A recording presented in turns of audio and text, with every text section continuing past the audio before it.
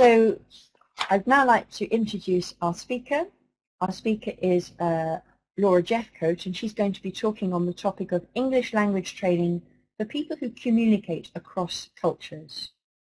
Laura uh, Jeffcoat, or Lowri Mills, is the Community Director and in-world manager of LanguageLab.com. She was involved with its startup, and for six years she's been involved in every aspect of the community's development. She's involved with the education and training, day-to-day -day operations, strategy, and planning. She works daily to maintain and build a virtual, educational, global community. Laura is a developer of ESL educational gaming for different cultures. She's in daily direct contact with students and teachers from all over the world, over 60 countries, and this has provided her with valuable insight on how to make language learning in virtual worlds engaging, user-friendly, and effective. She also has extensive experience managing the delivery of new digital products to a variety of educational and commercial institutions such as Pearson Education, Brazilian government, Chevron, Emery Roberts, and many others. So over to you, Lowri or Laura. Hello, how is everyone?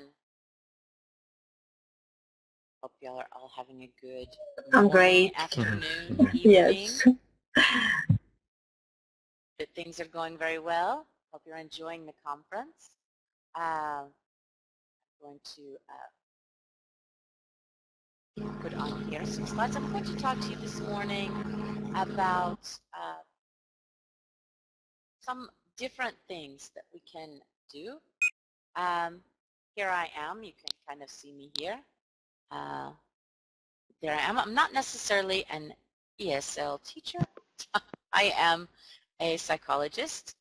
I uh, hold a bachelor's degree. I'm an LPC, LCDC, LMFT, and I was working uh, as a psychologist and then I became very sick and I went online to school and it brought me into Second Life, some of the first things that happened in Second Life, and uh, which brought me to English City, where David and Shiv were there, and we had some really interesting.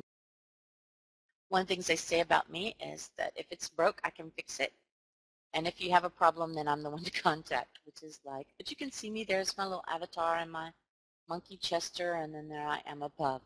So I don't, uh, my myself and my avatar, uh, well, I've got more of a slider diet going on with my avatar, which is kind of fun. Uh, one of the things that we do uh, in English City is, I think all of us have been working on there, is to, and, and have found, is the way that this environment really works. You know, I mean, it for me, it, it is amazing to see how well um, that that we learn, that, that students learn in their education. Um, it is a, it's a brand new uh, uh, concept. I mean, it's what, six years old maybe, six, seven? And learning to teach in this way are pioneers in education because we are not teaching as you do in a classroom um, we are teaching actually to the brain. And so what I want to do today is I want to talk to you about the two ways that, one, the way that we're learning and the way that we are teaching uh, to the short-term and long-term memory, and then also about to the different cultures, because these are the two main things that I see us being pioneers in. And so as an educator, it is, it is very important that you understand a little bit about what you're doing, how you're doing it, and how it works. This is not just a game kind of thing where you come on and it's really fun, although it is, and it's, it's, it's, it's great fun, but there's also science to it. So I know if you go and you talk to people at your schools, at your universities, I know that this is the, the one thing that people say to you. They say, ah, you're just having fun. You're just having uh, it's just a game. How can anybody learn in, in this game? How can this be real? How can this be real education? but it is real education and it works on science. And although it's fun and although we are although we are cartoons most of the day or avatars, whichever you prefer to, to call us, we come with science, you know? Um, we come where it works very well. And let me go on to kind of show you a little bit of the science that, that we have here. I want to show you, here's our brain. May need to go to the next one. Uh, just so that you can see, and then I will go back. Um, this is an MRI of your brain. Very colorful, isn't it? We have all sorts of energy coming out from our brain. It works really well uh, it kind of really works for this environment our brains do. It, it fits in very, very well. So one of the things that we use in our brain and how our brain works is with our memories. And that's how we teach. As teachers, we teach to the memory. If you're sitting in a classroom, you're teaching to the short-term memory. You know, you've got your chalkboard up there and you're, you're basically doing some. But now here in our world, we can do much more than take you into a classroom and throw words at you and throw a book in front of you or a computer screen or whatever. We can well we can throw a computer screen in you, but we can take you in into the world. We can use your senses because when we go into long-term memory, we talk about sense memory. Um, you have an experience. You know, when you when you talked to, to some of your early educators, they talked they they worked on experiences, experiences, instructions.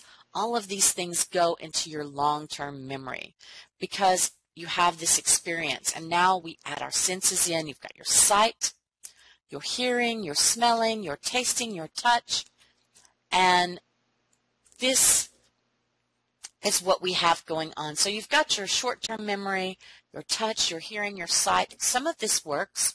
I know that you're always, uh, when if you're in a classroom, you're always saying you're hoping that they're looking at you so they can have that sight. They're looking at the board, they're reading, they're listening to you, and this is the way that you know that uh, they're going to retain some of the information that you are giving to them.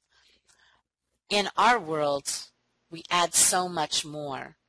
We add you not only have the sight of the object, you have your hearing, you have your tasting, I mean your mouth, it just, you get these fa taste, your touch, it's a fa touch, you know, so we've got a lot of things going on with our senses of the actual event that is going on.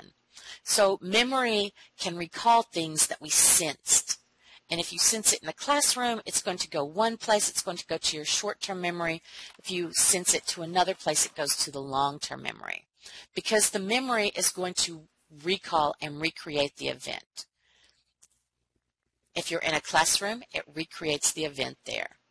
If you're in an ocean and on a ship, it's going to recreate the event there. So the memories of the concepts, the ideas related to the sensed experience, they're all coming through. So what we want to do, and then they form a generalized concept. So we store all of the information in our brain and we wonder just exactly how that's going to work. And it's going to all happen, not here, but here in the hippocampus. All right? This is where your short-term and long-term memory are decided. Like what gets to stay in your memory and what gets to leave your memory. And this part, we want many things to stay in our memory. We want everything to stay in our memory. And so we are so fortunate because here we can teach to that. Um, we look at uh, when we go for the the when we extract the essence of our experience, we form a generalized concept. And the way we do that is because the long-term memory involves three processes. We have encoding, where we break down what we're doing, and this is best done through experiences. Uh, we have storage, where it's going into the little storage containers going ah and then it will associate it will go just like you do in a filing cabinet it will go ah here's an association. We have good feelings going over here bad feelings going over here this is going over here and then we have retrieval.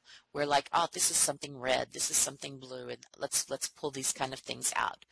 But we pull them out through our brain you know and it comes comes together. Um, and what it's called, it's a path called the Papez circuit. All right? So one of the things we do with long-term memory is we add a little emotion. And so we want to put the emotion around.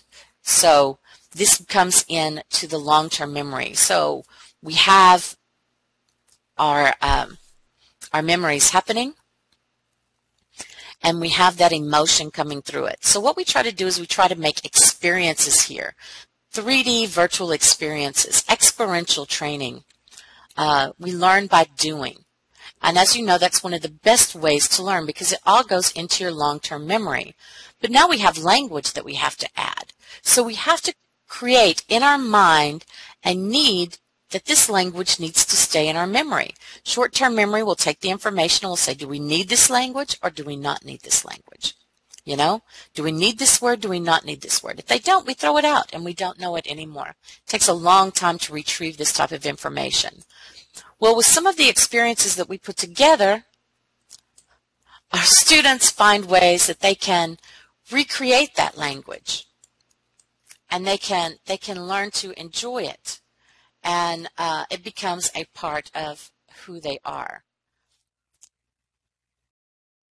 And this becomes uh, very all the way to the senses.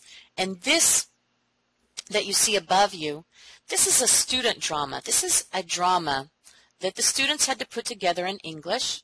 There were seven different countries involved, um, and they did it as a play they came up with their uh, backgrounds. They came up with their outfits. They came up with all of this. They created this experience and they created this experience in English. So they put it together. Now, they worked together and they practiced together and they created something that was unique. So the language that they needed was because they were going to perform. So it became important to them individually. And as the language became important to them, the more they learned.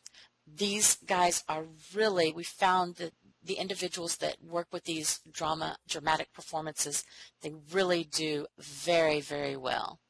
Um, their retention is amazing. So uh, we have, uh, I'm always very excited about what all that they can do. Um, and put things in, in together. So they're learning these things.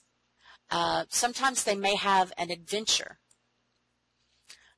This is one of the quickest ways. We find that individuals who attend a lot of these events, these experiential events, we have two types of events. We have uh, those that are, they're all experiential. We use guided and situated cognition so that we actually have purpose for what they're doing. And this type of an event, it's an uh, it's an experience, uh, an expedition where they are learning things, they're, they're finding things out, they're discovering new things. Each experience is different to each person, so therefore it all goes into their long-term memory. All of the language